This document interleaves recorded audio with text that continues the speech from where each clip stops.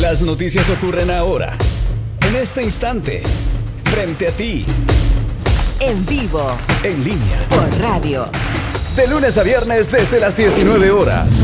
a través de FM La Paz 96.7. Notivisión Central está informándote.